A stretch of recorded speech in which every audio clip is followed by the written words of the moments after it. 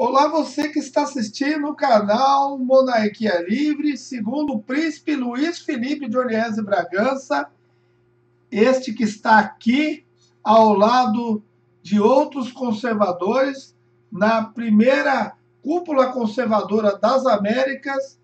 Luiz Felipe diz que a primeira cúpula conservadora das Américas, nesse final de semana, em Foz do Iguaçu, reuniu representantes políticos pensadores, ativistas e empresários de toda a região, oposto ao intento do Foro de São Paulo, criado para domínio e controle de tudo e de todos. Essa iniciativa visa o resgate da cidadania e preservação da soberania de cada país como o caminho para a libertação do socialismo enraizado na região. Ao final da cúpula, os grupos de estudos publicaram uma carta com diretrizes sobre segurança econômica, política e cultura. Esse foi o primeiro passo importante e agradeço a todos os envolvidos na criação e organização do evento e a todos que participaram.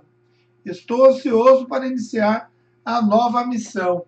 E ele termina dizendo que a carta que ele se refere no texto, a carta com diretrizes sobre a segurança, economia, política e cultura estará no seu blog. É isso aí, é o canal Monarquia Livre, acompanhando o príncipe Luiz Felipe de Orleans e Bragança no seu novo cargo de deputado federal e ele vai lutar em 2019 para aprovar a nova Constituição que ele escreveu com base na Constituição de 1824.